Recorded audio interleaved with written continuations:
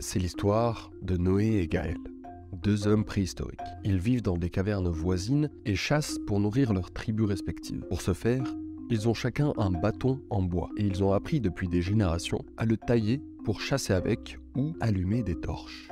À part ça, ils ont des passe-temps assez différents. Noé dessine des animaux dans les grottes et Gaël est lui doué à manier le feu. Seulement, il y a un problème. Une famine menace leur tribu et nos deux chefs de tribu doivent quitter les grottes car les troupeaux se font rares et la chasse ne leur permet plus de subvenir aux besoins de leur tribu. Or, ils n'ont malheureusement pas retenu à travers les transmissions orales de leurs ancêtres l'histoire d'une existence nomade. Pour eux, ils ont toujours été un peuple sédentaire et ne savent vivre autrement que dans des cavernes. Nos deux amis Noé et Gaël réalisent que leur bâton taillé, qui leur permettait jusque-là de résoudre tous leurs problèmes à la fois pour se nourrir et s'éclairer, n'était plus efficace pour répondre aux problèmes actuels, migrer et adopter une vie de nomade. Mais un des deux protagonistes a trouvé une solution et a pu sauver sa tribu de la famine grâce au même bâton devenu inutile. Le titre de cette vidéo porte sur ChatGPT et l'IA, et tu te demandes pourquoi je te parle d'homme des cavernes. Bon, c'est normal, tu vas comprendre. C'est vrai qu'on a vu cet assistant super intelligent et méga informé apparaître comme de nulle part et disposer de tout le savoir humain. Il est mis à disposition de potentiellement tout le monde et présente une révolution technologique hors du commun, d'une ampleur similaire à celle d'Internet. Partout, on entend parler dans les médias des commentateurs et analystes aller de leurs prédictions tantôt apocalyptiques tantôt naïvement optimiste. Mais peu parlent d'une chose capitale quand on aborde le sujet de l'intelligence artificielle. Et de manière générale, quand on parle d'outils fabriqués par l'homme. Parce qu'en parlant de l'IA, on touche en fait à quelque chose de profond, qui concerne la place de l'humain par rapport à sa création. Si tu n'en as pas entendu parler, depuis quelques semaines sur les réseaux, toute une horde de gens commence déjà à nous dire comment l'utiliser pour plus ou moins tout faire avec. Écrire des mails, de la poésie, faire du code, des sites internet, et c'est vrai que pour l'avoir essayé, il sait presque tout faire. Je dis bien presque. Parce que ChatGPT est excellent à nous donner des réponses, et même s'il peut être créatif, sa capacité à formuler autre chose que des réponses et des affirmations est très limitée. Bon, tu me diras que c'est normal, c'est ce qu'on attend de lui, non? Eh bien, précisément, c'est ce qu'on attend de lui. Et tout l'objet est de savoir comment lui faire saisir ce que l'on attend de lui. Et on va voir que comprendre une telle révolution qui est ChatGPT mérite de prendre un peu de recul. Et par recul, j'entends à la fois un recul historique et philosophique, et peut-être même mathématique. Un outil comme ChatGPT et d'autres IA sont par définition un ensemble infini, puisqu'il y a justement une infinité de possibilités de l'utiliser. Et donc, tout autant de chances de mal s'y prendre, et à l'inverse, quelques chances de réaliser l'impossible. Aujourd'hui, on va parler de la chose qui va vraiment faire la différence. C'est que si on la réalise, nous permettra d'apprendre par nous-mêmes comment utiliser ChatGPT et les outils d'IA dans le futur d'une meilleure manière, et surtout d'une manière originale. Car au fond, c'est clairement ça le sujet. Hein. Tout le monde a le même outil, mais ce que pourra faire l'outil dépendra de notre manière de l'utiliser. Et en fait, même mieux que ça, de notre manière de le questionner. Tu te rappelles de notre petite histoire de Noé et Gaël, nos deux ancêtres préhistoriques? On va faire un jeu, avec le peu d'informations que j'ai citées. À ton avis, qui des deux, Noé et Gaël, a trouvé le moyen de sauver les siens grâce à leur outil de prédilection, le bâton de bois?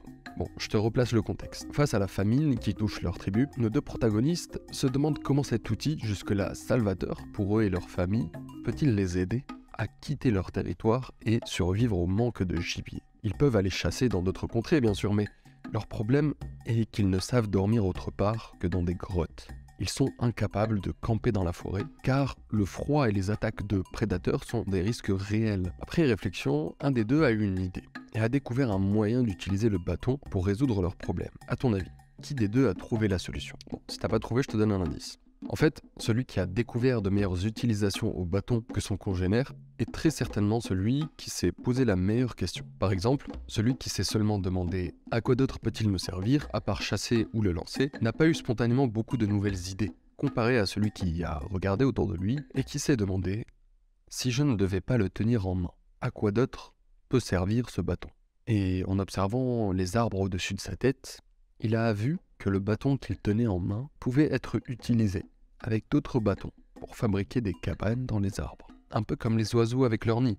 Et cela lui a donc permis de pouvoir partir en forêt et vivre en sécurité dans des cabanes construites dans les arbres avec des dizaines de bâtons similaires à celui avec lequel il chassait.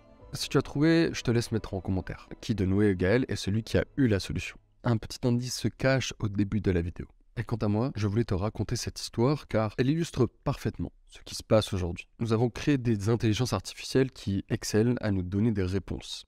Mais ces réponses viennent bien de questions au départ. Et d'où viennent ces questions? Eh bien, nous sommes l'origine, nous sommes la source, les architectes de ces mêmes questions. Et ça, c'est en fait la raison philosophique pour laquelle nous ne serons jamais remplacés par l'IA. Tout simplement parce que on peut décider. On peut décider de leur faire faire tout ce dans quoi ils sont meilleurs que nous. 80% des emplois dans l'Empire romain étaient occupés par des transporteurs d'eau. Imagine ce qu'ils se sont dit quand a été construit le premier aqueduc. Donc la peur d'être remplacé par l'IA a en fait peu de sens si on la regarde en levant un peu le nez du guidon. On demeure les maîtres de ce que nous demandons de faire à l'intelligence artificielle. Donc plus on utilise ce pouvoir, et plus notre condition sera améliorée. Et à l'inverse, plus nous le délaissons, et plus on sera même d'être asservi non pas par l'IA elle-même, mais plutôt par notre manque de recul sur l'outil qu'on utilise. Et on le voyait déjà avec Google et euh, l'histoire de cet enfant de 14 ans qui a fabriqué un réacteur de fusion nucléaire dans son garage grâce à ce qu'il a appris sur Internet, et notamment sur Google. Et à côté de ça, bah, tu as les gens qui vont taper les horoscopes du jour sur Google chaque matin. J'ai rien contre les horoscopes, hein, c'est juste pour éclairer le contraste qu'il peut y avoir entre une majorité de gens qui utilisent les outils de manière conforme et standard et une minorité singulière qui se démarquera et finira par prendre le pouvoir. Bon, bientôt, l'engouement autour de ChatGPT finira par s'estomper. L'humain est comme ça, il est excité par son nouveau jouet seulement les premiers jours, sauf que quand l'effervescence se dissipera, on verra apparaître deux catégories de gens. Comme avec Internet, on va avoir des personnes qui vont s'en servir de manière basique et d'autres qui sauront extraire de son énorme potentiel des résultats hors du commun.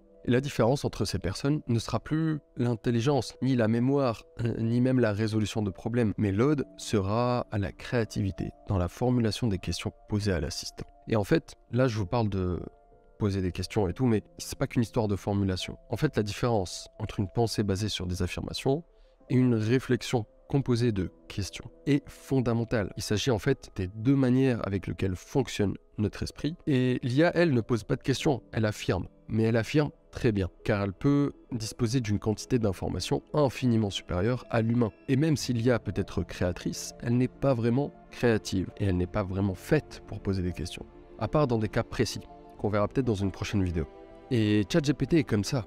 C'est un cerveau qui peut faire des liens infinis entre les briques de connaissances qu'il a en stock cerveau à qui nous seuls avons le choix et la capacité de faire créer les liens qu'on veut et de nous en présenter ses découvertes.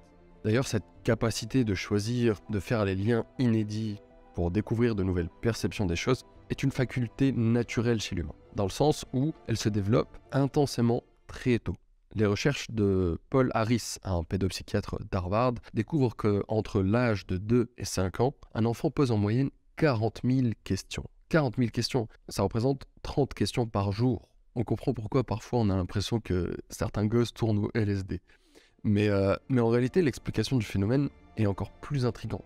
Grâce à une technologie de scan cérébral, l'Université de Washington observe chez les enfants de cet âge une explosion de synapses. Ce sont en fait les nouvelles connexions entre les neurones qui sont au nombre de 1 million de trillions. C'est 1 avec 24 zéros derrière. Et pour avoir une comparaison, c'est 3 fois le nombre de connexions observées chez l'adulte. C'est vertigineux. Malheureusement, ou pas, mais cette faculté à poser des questions commence à disparaître vers l'âge de 7 ans?